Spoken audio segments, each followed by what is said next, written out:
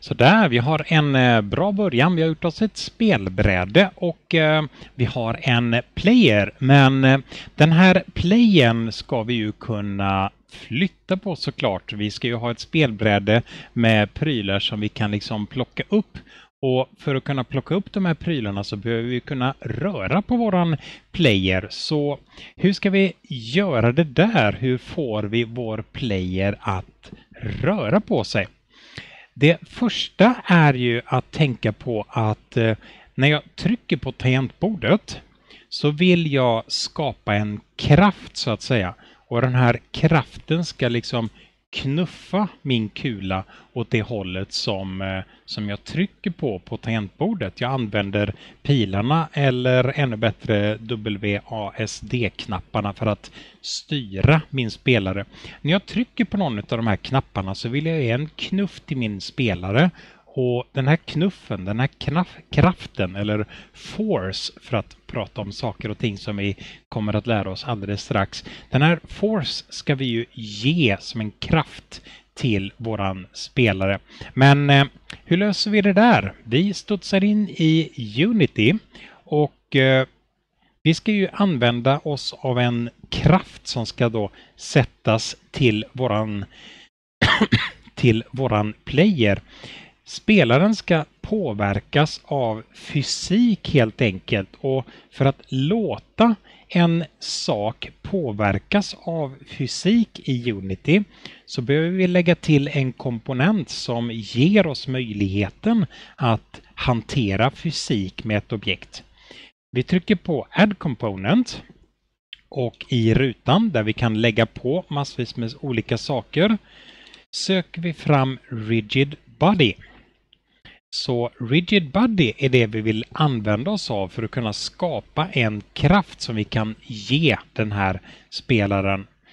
Nu har vi en möjlighet att kunna ge en kraft till spelaren. Men för att kunna ge den här kraften så behöver vi lyssna i tangentbordet för att tangentbordsnedtryckningar och det är det som vi vill lyssna efter. För att lyssna efter tangentbordsnedtryckningar så behöver vi skript. Alla skript som vi tillverkar vill vi ha i en egen katalog under Assets. Så under Assets så tar vi och högerklickar Create Folder och döper katalogen till Scripts. I den katalogen vill jag ha alla mina skript. Okej, vi behöver ett skript som ska kontrollera våran player. Så en av alla saker som våran player har, den har en transform, den har en mesh renderer, den har en collider, den har en rigid body. Jag vill nu lägga på komponenten player controller som ska vara mitt skript för att kontrollera våran spelare.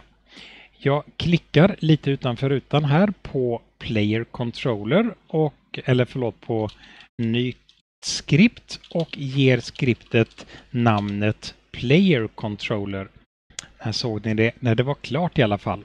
Så jag har nu ett skript som heter Player Controller Skriptet la sig utanför katalogen här så det jag gör är att jag tar och markerar Player Controller och flyttar in det till skriptskatalogen. Om vi nu kikar på skriptskatalogen så har vi där vårt skript Player Controller. Markera våran player igen för att ta fram det där. Jag vill nu ändra saker och ting i det här skriptet som gör att jag kan känna efter om tangentbordsnedtryckningar kommer och sedan översätta den här tangentbordstryckningen till en force. Jag dubbelklickar på skriptet Player Controller för att öppna det här skriptet i min utvecklingsmiljö Visual Studio Code. Så där, hur ska vi nu göra för att få det här att fungera? Jag vill på något sätt lyssna efter en tangentbordsnedtryckning. Hur gör vi det här då? Jag vill lyssna efter någon form av input. Vi kan få lite hjälp med en sån här sak. Om jag undrar vad jag ska göra för någonting så kan jag alltid skriva texten. Om jag skriver texten input och undrar vad det där är för någonting. Om jag skriver det jag vill leta efter och på tangentbordet tycker Ctrl Ä eller högerklickar på ordet och markera ordet, högerklicka på ordet och säga Open Documentation for Selection. Här ser vi ändå snabbkommandot Ctrl Ä. E. Om vi trycker där så får vi upp Unity-dokumentationen om just input. Här ser vi alla sökträffar på ordet input. Här finns ju massvis med olika saker. Vi kan ibland behöva leta i den här listan efter vad som verkar vara rätt. Jag såg något i början här som verkar stämma. Input.getAxis returns the virtual axis identified by axis name. Det där låter rätt. Jag trycker på den där för att få upp mer dokumentation om det. Här säger vi att det är en funktion som returnerar ett värde mellan 0 och, vad står det? Mellan minus 1 och 1 efter tangentbord, joystickar och alla andra typer av inputar. Hur använder vi den här då? Ja, om vi tittar här så säger vi att vi har någon float och så ett namn input pucket axis vertical och input.getAxisHorizontal. Det där verkar vara rätt. Så vi lyssnar helt enkelt efter inputtryckningar i den här. Det här låter ju helt korrekt. Det låter precis som någonting som vi var ute efter. Så vi studsar tillbaka till våran kodmiljö och vi har nu lärt oss att tydligen så är det input som vi ska lyssna efter. Så det vi gör är att eh, fundera på var någonstans ska vi skriva det här?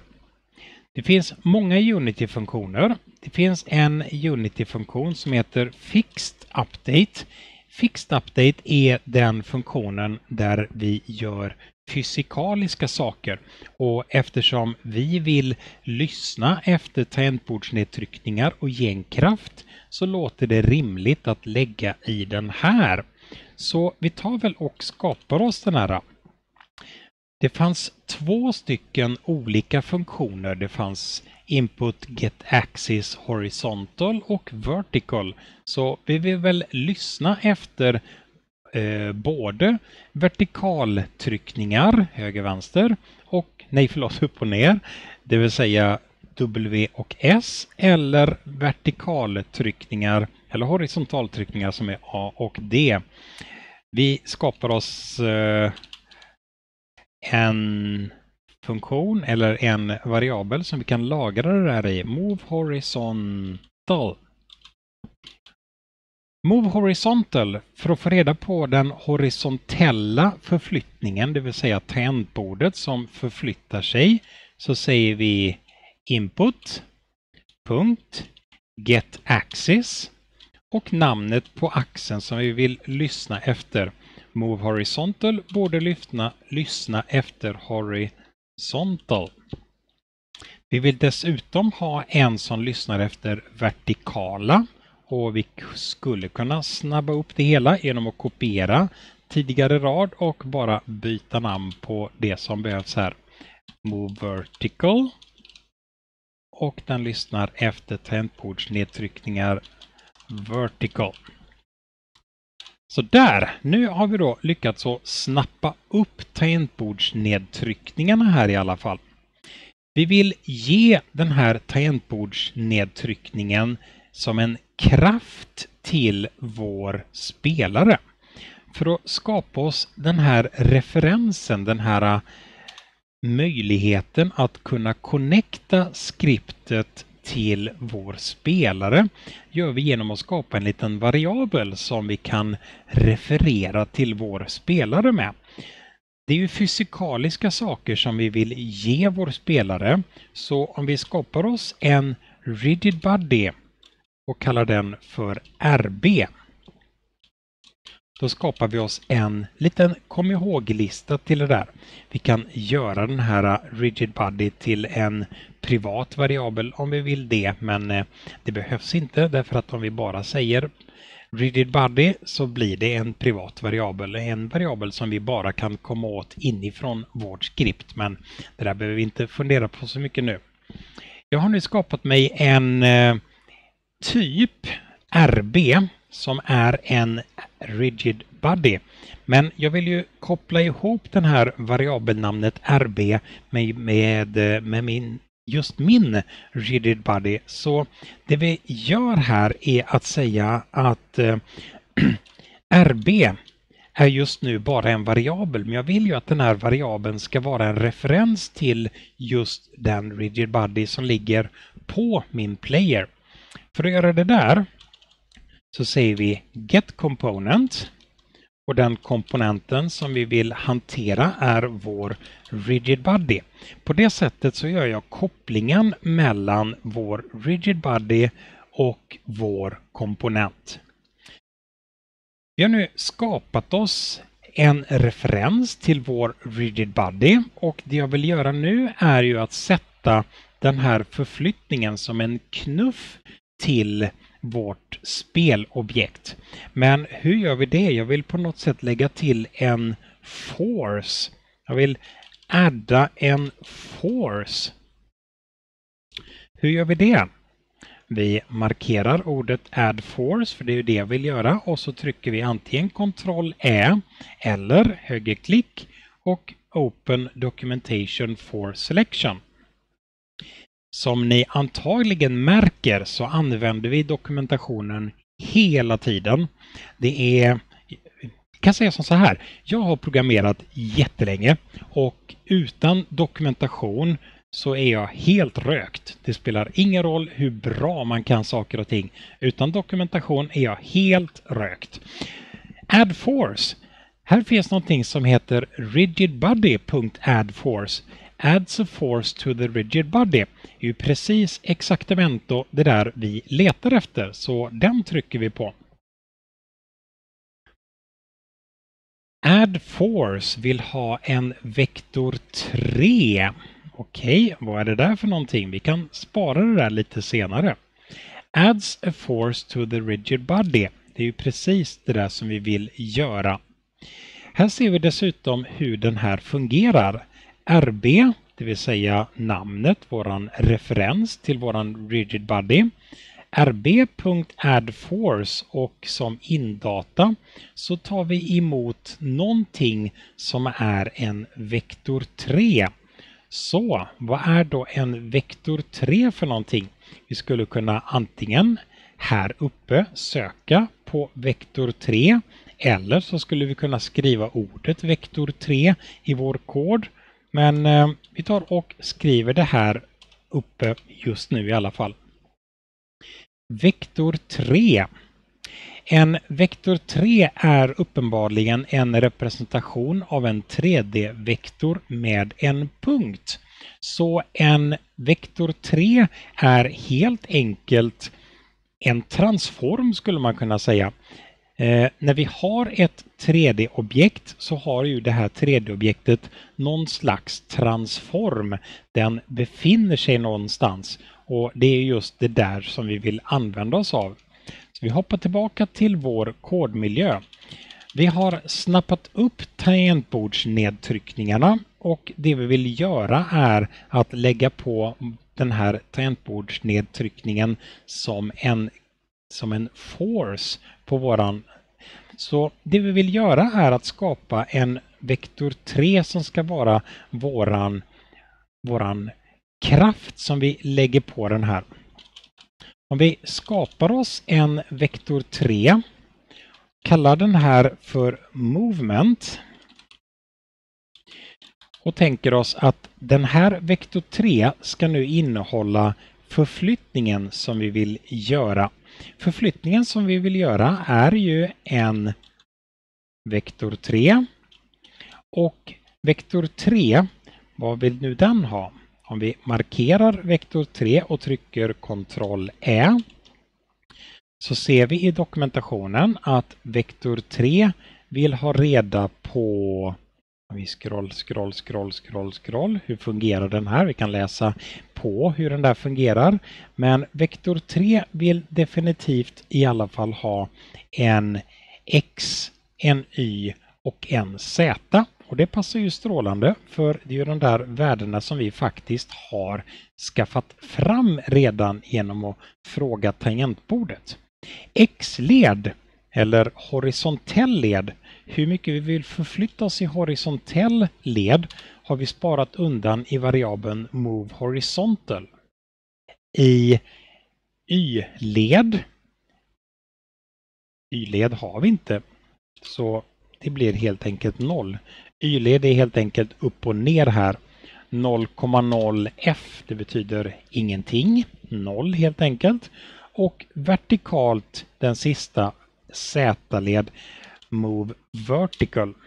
Så på det där sättet så kan vi skapa oss en vektor, det vill säga en punkt med en riktning och eh, den här riktningen som vi då har snappat upp ifrån tangentbordet vill vi nu lägga på våran spelare. Spelarens fysikaliska komponent kallar vi för RB. Vi vill lägga till en force på det här. Eftersom jag vet ungefär vad jag ska skriva så kan jag bara skriva det. Eller så kan jag i den här hjälplistan som kommer upp se vad kan vi göra med en rigid body. Jag kan säga till rigid body att use gravity. Jag kan säga till en rigid body att ha en massa eller att vara kinematic och så vidare. Alla andra saker som jag kan göra kan jag se i den här listan.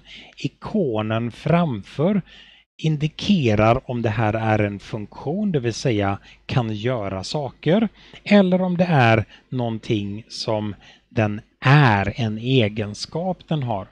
Jag vill lägga till en force på den här. Så den forcen som jag vill lägga på, det är ju den här movement som vi har. Movement är ju en vektor innehållande tangentbordsnedtryckningarna. Så vi lägger vi till våran movement helt sonika på den där. Så, nu har vi helt enkelt gjort som så att vi har snappat upp tangentbordsnedtryckningarna och vi har översatt tangentbordsnedtryckningarna till en vektor, en riktning, en kraft så att säga. Och vi lägger på den här riktningen som en kraft på vår rigid body som är våran spelare. Vi sparar det där och hoppar tillbaka till Unity. Vi ser på vår spelare. Den har just nu en player controller innehållande det, det där skriptet som vi skrev. Här nere har vi spelbrädet och spelbrädet har Maximize on Play på sig, det vill säga att när vi trycker på play-knappen så kommer spelfältet att maximeras. Jag väljer att spara min scen och trycka på play-knappen. Här har vi mitt spelbräde och jag trycker nu på piltangenterna och ser att uppenbarligen så rör den här kulan sig. Jag kan styra kulan men det var gisses vad det här går långsamt. Det går alldeles för långsamt för min smak. Det där är inte alls den spelkänslan jag var ute efter. Jag återvänder till mitt skript. Den här kraften som vi lägger på här vill jag multiplicera med någonting för att få det här att gå lite, klick, lite snabbare. Jag vill multiplicera den med någon form av speed och det här speed kan vi ta och skapa som en variabel här uppe. Jag skapar en float speed vi kan sedan initiera den här hastigheten till någonting. Eh, vi får pröva oss fram helt sonika. Om vi exempelvis provar med 100. Spara skriptet. Tillbaka till Unity.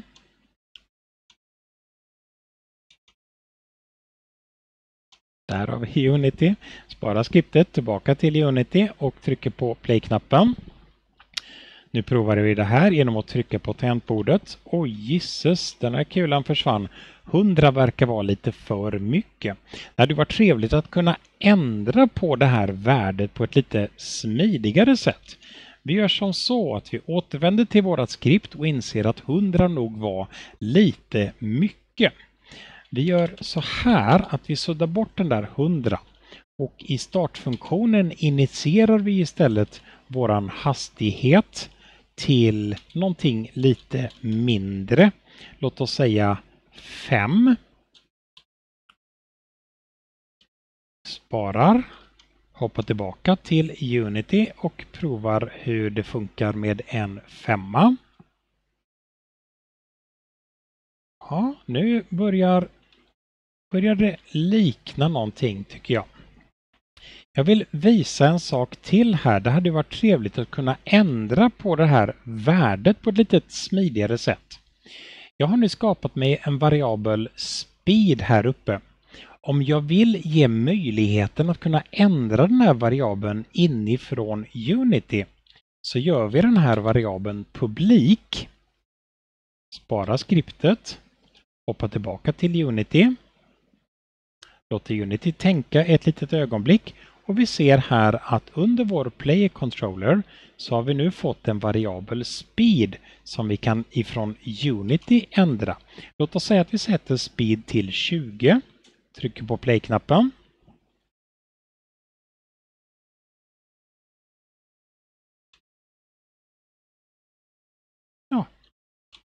Så på det sättet så kan vi då göra oss en variabel som vi inifrån Unity kan sätta till något värde.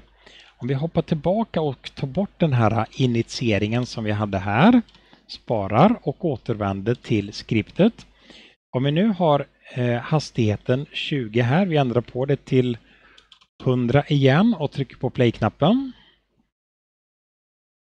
Wow, där flyger kulan iväg. 20 är uppenbarligen lite för mycket. Eller förlåt, 100 är lite för mycket. Om vi sänker ner den här till 2 och trycker på play-knappen.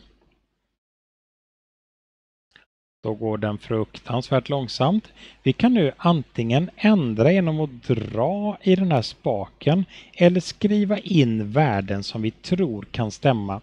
Vi får fortsätta att hålla på och pillra på de här värdena tills vi får ett värde som verkar stämma överens ungefär med den spelkänslan vi har. Den spelkänslan som vi är ute efter. 10 så den rör sig lite fortare eller kanske 11. Ja, vi får hålla på och kontrollera det där fram och tillbaka men som vi har gjort nu i alla fall så har vi gjort en ganska klurig del. Vi har i vårt skript lyckats med att skapa en referens till min fysikaliska kropp, min rigid body som jag har till min player. Jag har kopplat ihop den här variabeln med komponenten rigid body, det vill säga vi har massvis med komponenter. Jag kommer åt komponenten rigid body på det där sättet. Vidare så har vi en funktion som heter fixed update som vi använder för att ge fysikaliska egenskaper åt saker och ting. I fixed update så snappar jag upp tangentbordsnedtryckningarna genom att fråga efter get axis. Jag översätter tangentbordsnedtryckningarna till en vektor 3 som jag kallar för movement och sen ger jag den här movement som en kraft till min rigid body. Och på det sättet så har vi då lyckats att ge den här fysikaliska egenskapen som vi snappar upp från tangentbordet som en kraft till våran spelare.